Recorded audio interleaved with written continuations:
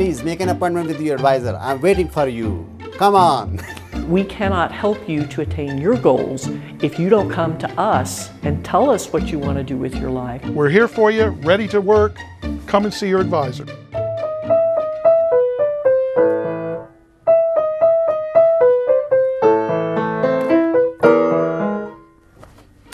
Please come see your advisor. Sometimes we want the distraction. Even if you don't want to see us at all anymore this semester, we want to see you. Unless you have memorized the student handbook, you should probably come get advised. Hi, I'm Sandy Huguenin, and I'm the provost. And I'm here today to talk to you about our new advising model. Beginning this spring, with enrollment for the fall, we'll be requiring all students to see their advisor before they can enroll.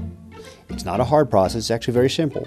We just like you to see your advisor and talk to them to make sure you have the courses you need.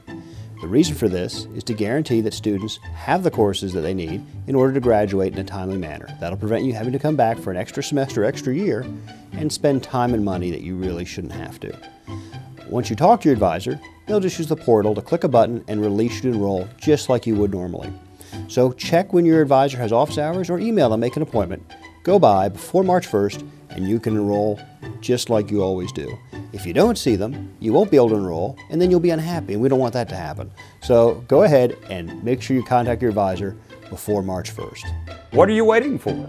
Make an appointment. It is really important to us that you succeed. We are waiting for you. Come and see me. I'm here to advise you. Advising is here to help you. We want to see you. Come get advised.